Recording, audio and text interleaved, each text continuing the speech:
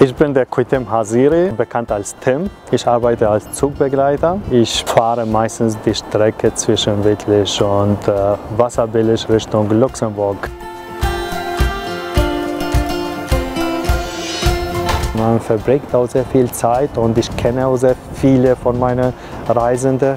Und äh, es macht einfach Spaß, weil ich mache auch gern so ein bisschen Smalltalks mit denen, um zu erfahren, wie die zufrieden sind. Ein bisschen Feedback und natürlich es gibt auch so ab und zu mal so ein bisschen Abweichung. Aber mit ein bisschen Fingerspitzengefühl, das klappt auch. Nachdem ich die äh, Hilferuf gehört habe, bin ich in Unterführung gegangen. Wusste, wahrscheinlich ist etwas mit meinen Reisenden. Und äh, so schnell wie möglich habe ich darauf reagiert. My husband said that he asked me a question and I didn't answer.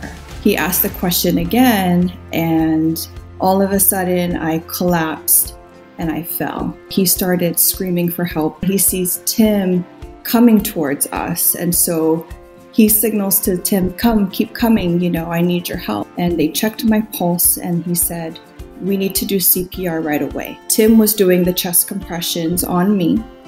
And my husband was breathing. Zehn Minuten, vielleicht zwölf, und dann ist der Notarzt eingetroffen, hat sie wieder zurückbekommen. Das war dieses unbeschreibliches Gefühl, wo man denkt, okay, es ist nicht, wir haben sie nicht verloren und das Leben geht weiter.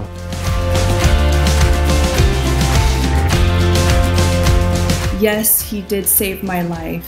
My husband was screaming for help and he did not hesitate.